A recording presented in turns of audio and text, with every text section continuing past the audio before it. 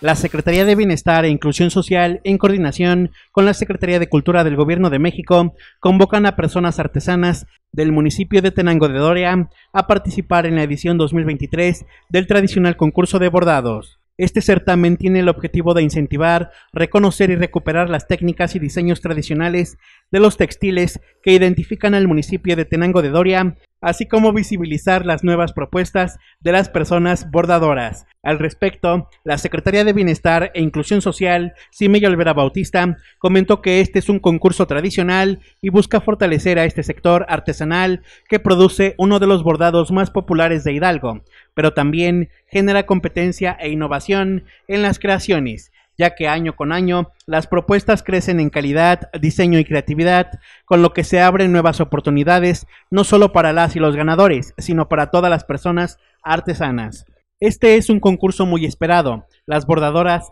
ya tienen sus piezas listas para inscribirlas. Ya se hicieron las respectivas invitaciones a las autoridades municipales, a los delegados y comisariados. Por eso estaremos en las comunidades recibiendo sus piezas, cumpliendo con la indicación del mandatario Julio Menchaca de ser un gobierno cercano al pueblo, comentó la servidora pública. En esta edición podrán participar las personas artesanas del municipio de Tenango de Doria, Hidalgo, mayores de edad, que se dediquen a la elaboración de artesanías con técnicas materiales y diseños tradicionales, así como nuevas propuestas de diseño en las categorías de manteles de 1 por 1 metro, bordados multicolor, manteles de 1 por 1 metros, de bordados a un solo color, manteles de 2 por 2 metros o más, bordados multicolor, manteles de 2 por 2 metros o más, de bordados a un solo color. De igual manera, en manteles redondos bordados, caminos de mesa y tiras,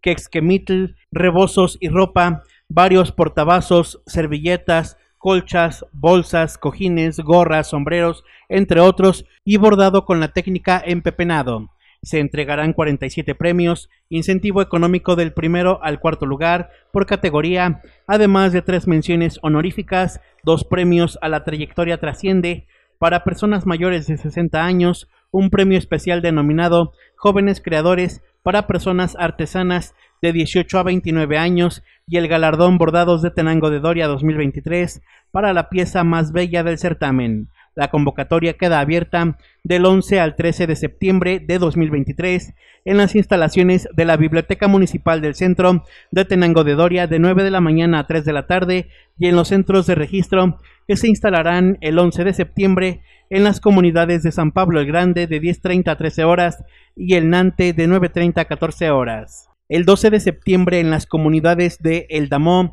de 10 a 14 horas, San Nicolás de 11 a 14 horas y Santa Mónica de 9 a 12 horas. El 13 de septiembre en Cerro Chiquito de 11 a 13.30 horas y el de Queña de 10 a 14 horas. Para mayor información pueden comunicarse a la Dirección General de Fomento Artesanal a los teléfonos 771-713-0412 y 771-713-0966 o consultar la convocatoria de este certamen publicada en la página oficial www.ceviso.hidalgo.gov.mx o en las redes sociales de la Secretaría del Bienestar e Inclusión Social en Facebook y Plataforma X. Oscar Recendis para Mezquital al Día.